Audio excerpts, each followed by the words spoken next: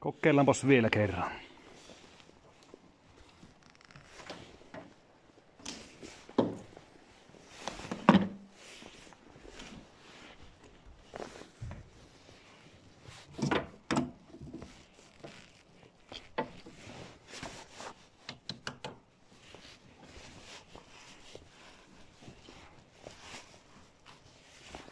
No niin, hyvää iltaa. Tuo Proho ja terve!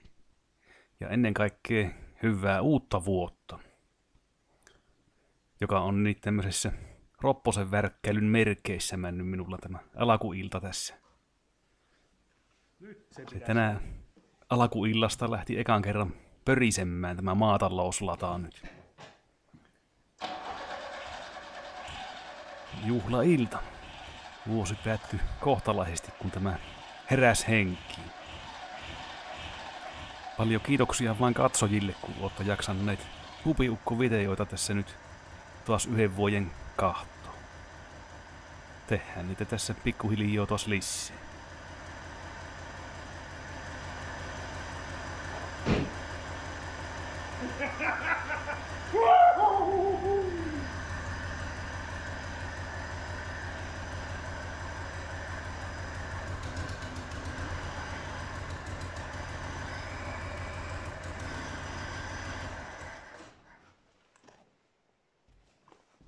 Juhu! Juhu!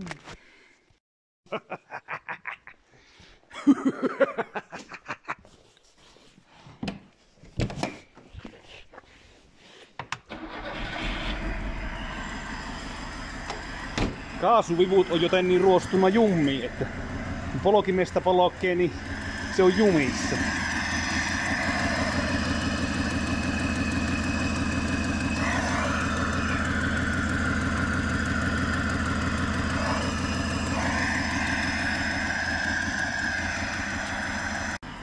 Kokeilenpa panna vähän ryyppyä varovasti tieltä.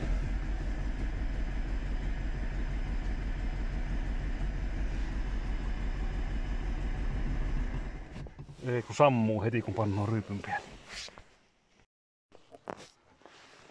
Tuo se näyttää vuotavan tuo kiihdytyspumpun kalavo, mikä tuli mulle vähän käytettynä. Mä nyt märäks heti tuo, tuo kohta tuosta. Niinhän tuolla on pensassa joka paikka, että tämä varmaan pallaa tänä iltana. Jospa tuo nyt ei palaas. Kokeillaan vielä kerran panna pörisen. Ei.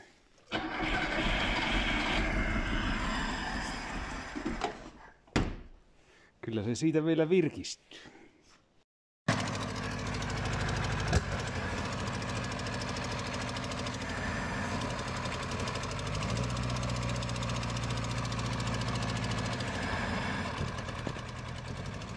Kaasuttimessa on jotain pientä hämminkiä, kun se ei oikein taho pyöriä. Tietysti voipihan siinä osaa olla tuossakin sähköjärjestelmän puolella vielä. Sitä nyt ei tiedä mitä kaikkea tuossa moottorissa on pielessä, kun se on siellä metän reunassa seisonna kymmenen vuotta.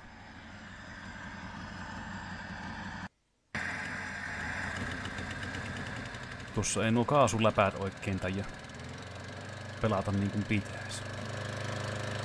En tiedä. Pitäisikö se avata alipaineella vai tulla vivulla tuon toisen, toisen läpään tuolta kaasarista.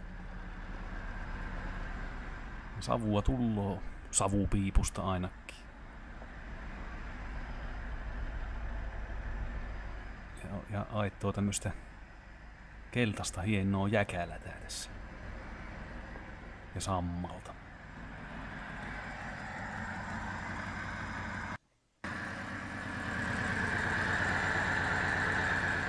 Tuo läppä ei aakia, vaikka kuinka yrittäisi teille vivusta vääntää kaasua. Toinen, toinen läpyti aakiaa, mutta ensimmäinen ei. En tiedä, se voi olla, että se on hapettuna jummiin, tai sitten siinä on joku jippo, mitä ei vielä arvoakaan. Se ei oikein vaikka tikulla koittaa kääntää aakin, niin suostu aakiamaan.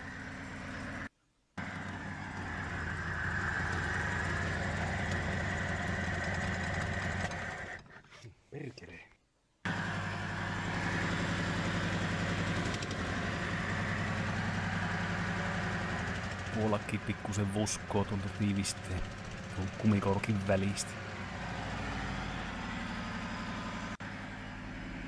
Vaan nyt kun sen tiedätte, että se pörisee, niin siihen on hyvä ruveta hommaamaan vähän kunnostusosia.